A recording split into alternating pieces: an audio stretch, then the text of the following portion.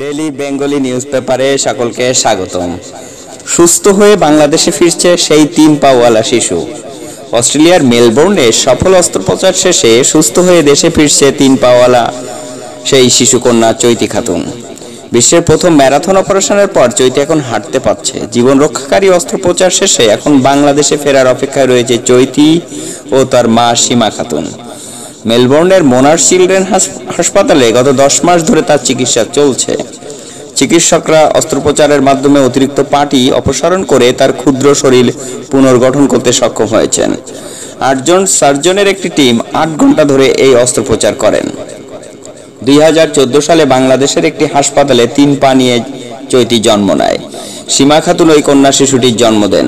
Caesarean অপারেশনের মাধ্যমে ভূমিষ্ঠ হওয়ার পর দেখা যায়, শিশুটির হাত, পা, মুখ, ত্বক, আঙুল সব ঠিক থাকলেও পা তিনটি।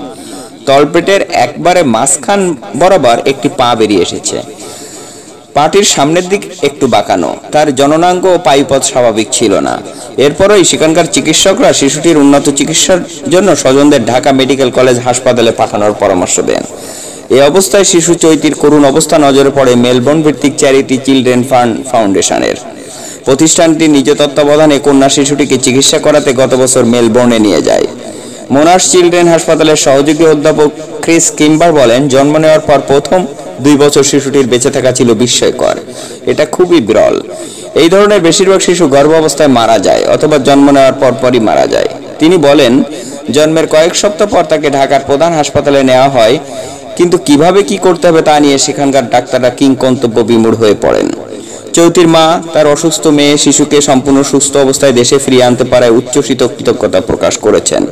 অস্ট্রেলিয়ার গণমাধ্যমকে তিনি বলেন, এখন অত্যন্ত ভালো লাগছে। এটা খুবই বিস্ময়কর। আমি সবাইকে ধন্যবাদ জানাচ্ছি।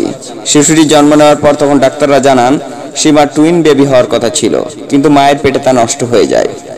ফলে শিশুর একটি পা পেটে রয়ে যায়। পেটের নিচে অস্বাভাবিক একটি পা থাকায় স্বাভাবিকভাবে শিশুটি প্রস্রাব পায়খানা করতে পারছিল না। এজন্য বিকল্প পথে তার প্রস্রাব পায়খানা করানো হচ্ছিল, তবে বাড়তি পায়ে কোনো অনুভূতি বা শক্তি ছিল না।